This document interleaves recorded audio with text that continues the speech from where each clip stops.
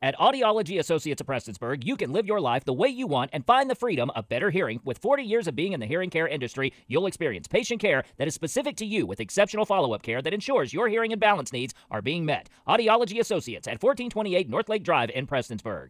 A concert to benefit random acts of kindness done by the Kylie's Kids Foundation will be held on Sunday, September 10th at the Mountain Arts Center. Uh, so Kylie was very well known for uh, loving kids, and kids loved her made a huge impact on numerous children anywhere that she was at. There was always kids around her in her lap. Whether the child is going through an illness or uh, just having problems in general, uh, you know, we want to be there to quietly add a smile to their face. Kylie's Kids was made in honor of Clark's late daughter, Kylie. This will be their second benefit concert and will feature performances from Billie Jean Osborne's Kentucky Opry as well as Kentucky Opry Junior Pros. Well, you know, there, there's so many wonderful things happening in our community, and uh, this, we're just happy to add one more to that to, uh, uh, you know, to, to benefit kids especially, but, uh, you know, there's no way that this uh, foundation would be where it's at today without the support of many businesses and many individuals. So uh, we would just absolutely love their support to be there. The Kylie's Kids benefit concert will begin at 6 p.m. on Sunday, September 10th.